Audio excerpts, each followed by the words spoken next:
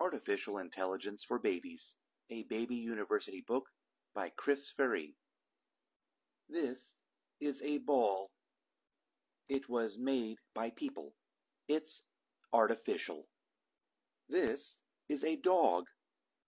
It was not made by people. It's natural. The dog is smart. It can learn commands like sit, stay, and fetch. It can solve problems like using its paws to dig. It can adapt to new situations like a different language.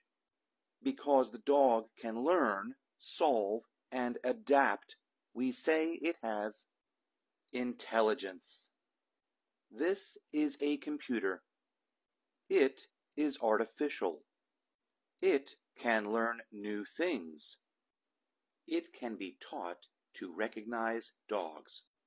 It can solve problems. It can add, subtract, and multiply. But is the computer intelligent?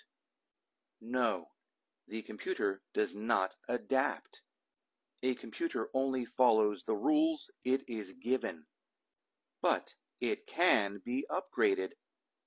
The computer now changes its own rules. Now the computer can adapt to new situations.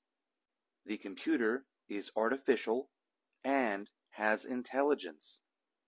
Now you know artificial intelligence.